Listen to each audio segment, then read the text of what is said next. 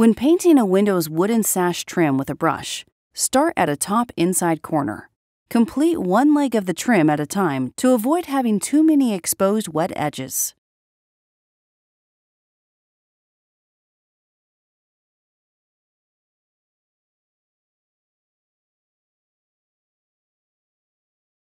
When moving to the next leg of the trim, begin with the inside edge and work out to the outer edge. Use long, even strokes and lay it off in one continuous motion to avoid leaving noticeable brush strokes once the material dries. This application would require the three coat system one coat as a primer, one intermediate coat, and a third finishing coat.